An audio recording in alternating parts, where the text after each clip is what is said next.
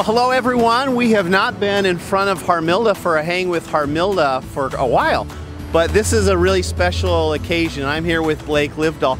Blake, uh, this was kind of a big weekend for you, wasn't it? Yeah. Uh, tell the world, because I want you to tell your own story. I'm super excited about this, but tell everyone in Harvard and around what happened this weekend. Uh, I uh, went down to DeKalb, Illinois, and uh, won a state title. So wrestling, Yeah. not swimming or cheerleading or dance or anything. Maybe you're a good dancer. Well, secret fact. I don't know are, about that. Are you a good dancer? No. No. Okay. Well, let's stick to wrestling. But how many uh, people were in this uh, tournament? I mean, it's state, so they've narrowed it down already, Uh, and that was the elite elite, and you won it all. Yeah. There's uh, there's 19 weight classes in two divisions, so I, that's a lot of people. I don't know. I'm not. I don't know if I have that quick math, but that's a lot of people. But there's 16 kids in each weight class, so I mean it's a tough tournament. It's not easy. So, yeah. Well, why don't you tell us a little bit more? Because I watched part of it. I watched the the third period of, of the match um, on uh, it was Saturday night, wasn't it? Mhm, yeah. And I think I heard that it was a four to one, but I couldn't tell what score it was. But in the third period, you were you're riding him, and he couldn't go anywhere. You were in firm control at that point, weren't you? Yeah. Uh, I mean, we just, at the first period, we took him down uh, off a re-attack. He took a shot, we took him down. And then uh, the second period, we chose top, which maybe wasn't the smartest thing, but thought I could get a turn, which we didn't. But so it was up 2 nothing, and then in the third period, he chose neutral because he needed a takedown, and he took a bad shot, and I capitalized off it.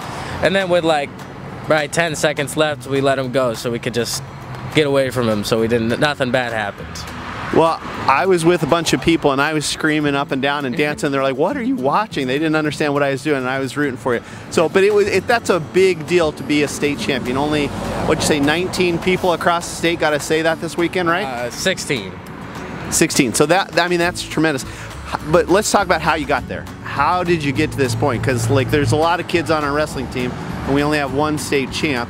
How, what's the work? How did you get to this point?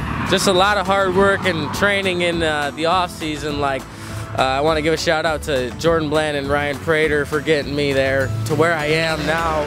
They just tons of hours in the off season. Mike Vest also for just pushing me. My family for always being there when it's just tough. You know, like tough practices and you don't want to be there. Like, I mean, obviously you want to be there, but you don't. It just they just keep you motivated and just keep going. That's awesome. I mean, it is an individual sport, but you're right. There's a lot of team elements to this and people that got you there. So Yeah. glad to hear those shout outs. So, but think about next year, you'll be in high school. Yeah. What does that mean? I, I- we just heard you got a whole busy summer plan of training and more work. Talk about what you're looking forward to once you get up to high school. Uh, just obviously the fact of being in high school is gonna be fun, but like, just I feel like high school wrestling is more, I guess, I don't know, entertaining, but like more involved, like as a team. Like I like the team factor, but I also like the individual. Like I'm looking forward to having like a solid team and teammates like that can push you every day. Absolutely. And it's there's something really special about when you're there and your whole school's there rooting for you, and you got the whole school chanting your name and all that. But Yeah. well, that's what we were doing this weekend. So congrats, buddy. We were super proud of you, and uh, keep that name uh, in mind, everyone, because this guy's going places. Congratulations, sir, and we'll uh, we'll stay plugged into your uh, your career. Thanks for coming down and joining Harmilda and I. Thank you. Thank you very much, everyone.